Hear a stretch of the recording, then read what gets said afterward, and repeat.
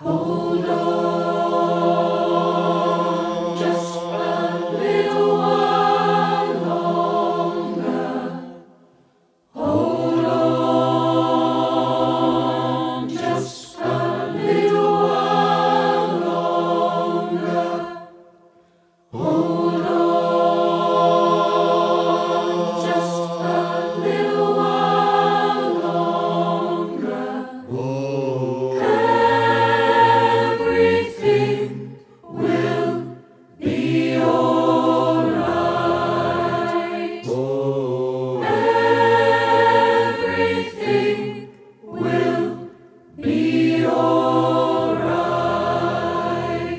got to pray on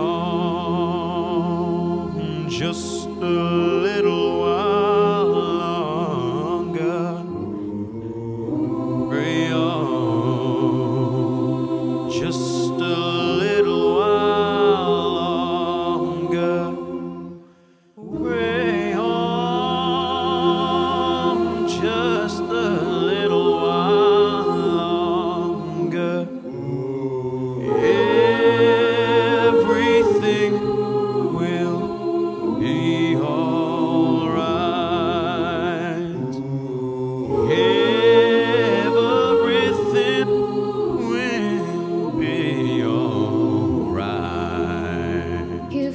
to fight all.